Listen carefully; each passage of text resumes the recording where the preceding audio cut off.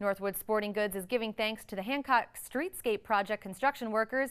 They decided what better way to show appreciation for hard work than with food. Roughly 20 MDOT and city workers stopped by Northwood Sporting Goods for lunch this afternoon.